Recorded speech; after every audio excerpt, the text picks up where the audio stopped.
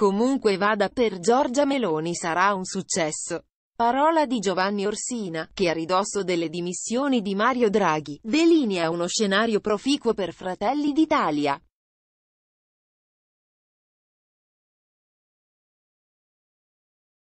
E non solo. A suo dire infatti il centrodestra, a meno di clamorosi autogol, ha tutte le carte per giocare una partita vincente.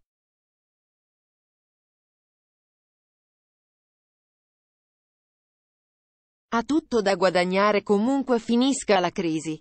Il campo largo è, invece, una scommessa quasi perduta ormai.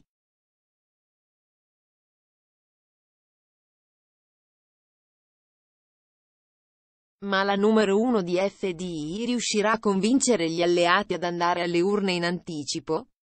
La domanda non è delle più semplici.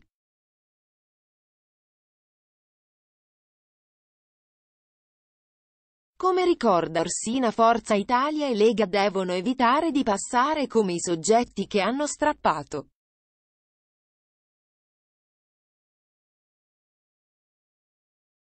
A Salvini un papetta è già costato tanto e un secondo non gli sarebbe perdonato.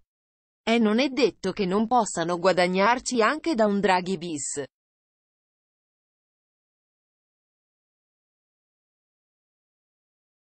E neppure un prosieguo del governo riuscirà a scalfire il consenso della Meloni. Il motivo è chiaro, lei si trova in una condizione win-win spiega sulle colonne del giorno, nel senso che comunque vada, vince anche se non ottiene il voto anticipato in autunno.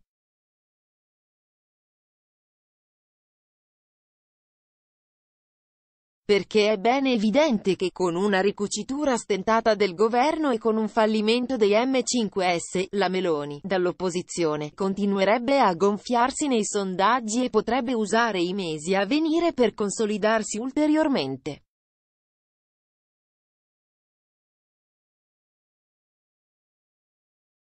Si farà la sessione di bilancio e andremo a votare a febbraio, marzo perché non si potrà più di tanto tirare il collo alla legislatura.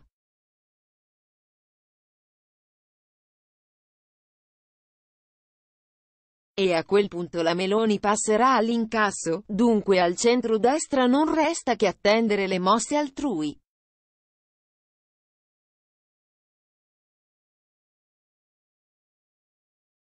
Mosse che non porteranno PD e M5S tanto lontani. La speranza dei grillini di recuperare consensi per questa via è mal riposta.